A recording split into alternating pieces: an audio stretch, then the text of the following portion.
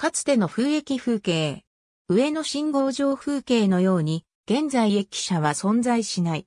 キハ40型から出た、整理券風駅時代の駅構内の様子風信号場は、北海道夕張市風にある、北海道旅客鉄道石小線の信号場である。電報略号はカテ。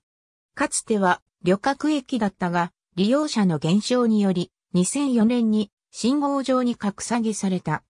石小線建設時より、同地には停車場の設置が計画されており、開業にあたって先立って廃止された夕張線、上川支線にあった風駅及び上川駅の代替として風駅として開業した。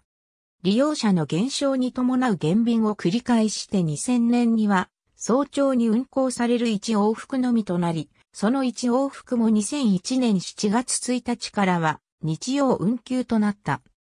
旅客駅としての末期の利用客は1日1人という状況で公共交通機関としての役割を終えたと判断されたことから2004年3月12日の営業をもって信号場に格下げされた。地名より付近に楓が多いことからの名称。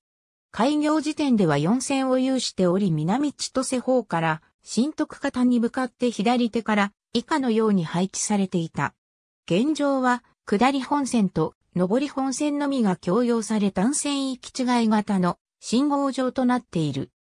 高速化改良時に Y 字型の男性分岐ポイントが挿入されており、下り本線は時速 120km での通過が可能である。旅客駅時代は3番線に駅舎と単式ホームを設け新夕張方面行き普通列車の乗り場として使用していた。上下本線は旅客扱いで使用する定期列車はなかったものの相対式ホームが設置され、また古線橋も存在した。3番線は現在も側線として補線用車両の留置等に使用されている。現在の国道274号は関小線開通と入れ替わる形で廃止された上川支線のルートを転用したものである。そのため関小線が営業開始する前は、上川支線が3番線の北側脇を並行する形で走っていた。